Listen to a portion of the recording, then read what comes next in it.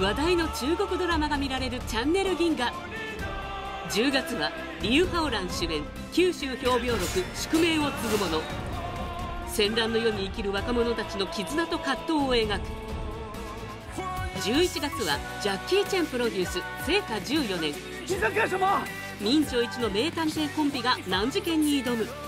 ご加入のお問い合わせは CS 放送チャンネル銀河を検索。